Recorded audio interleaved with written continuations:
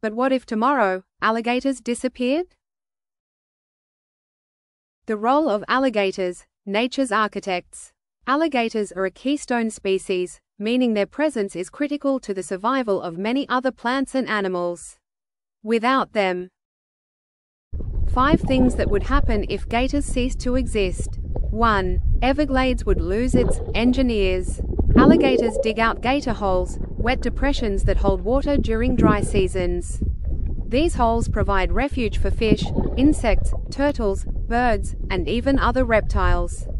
Without gator holes, many species would die off in dry periods, disrupting the entire food web. 2. Prey species would explode. Gators control populations of animals like nutria, raccoons, and invasive fish. Without them, these prey species could overpopulate, leading to overgrazing, erosion,